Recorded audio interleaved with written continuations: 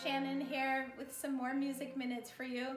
I wanted to tell you that today our final stop in the British Isles is in England. And particularly we're visiting London, which is a city in England, and we're talking about bells today. Did you know in London, when bells ring, they mark the different hours of the time of the day? You can hear them all over when you're in London. And so today I was thinking I might introduce you to the Montessori bells. Though those are not particularly found in London, though they would be at a Montessori school if you were there, I wanted to talk to you about the sound that they make and how they look extremely similar, but each one of them has a different pitch.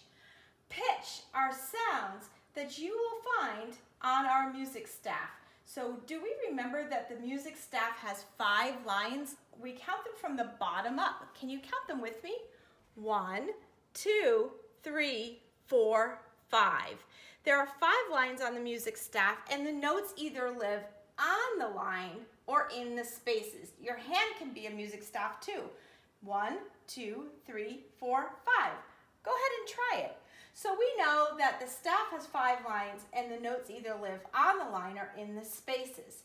Today, I have a very special song that actually was written in London called Listen for Bells. This is a great song for you to learn because it only has three notes. The notes that it has are D, A, and down here F. So today I brought three Montessori bells to show you this song. Did you know that when you carry a Montessori bell, you want to keep your hand flat, hold the stem, and carry it to your tray that way. You never want to touch the outside of the bell because our fingerprints could show. So today I have three notes here and three notes here. And I have a mallet, which you hold this way, and a damper, which is a piece of wood with a piece of felt on it. Some of them, some of them look a little different. And the damper stops the noise. Otherwise, the bell would resonate sound for a very long time, such as this. Listen. That note you can hear and it's still going on. But when I dampen it, the bell noise stops. So let's go right to the song. Listen for bells.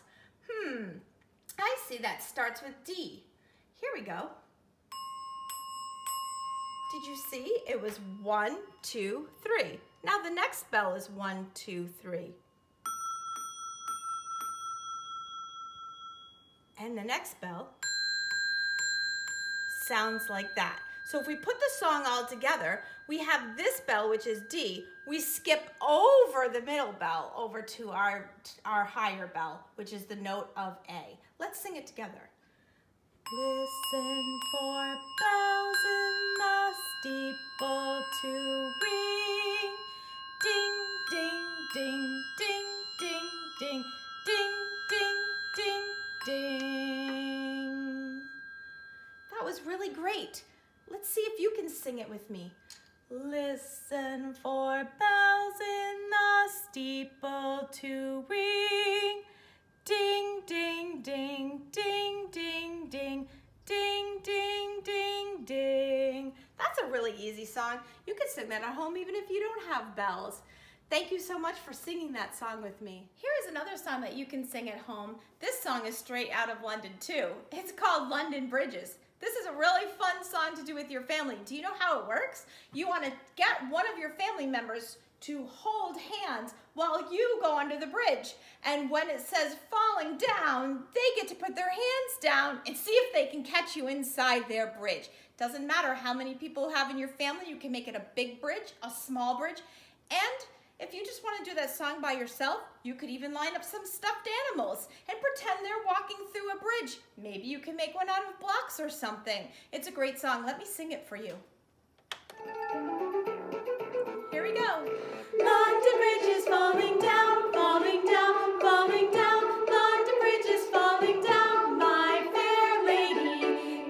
Good job. And then what you can do is make your bridge a little smaller this time. So this song is London Bridge Falling Down. Here we go. Good job.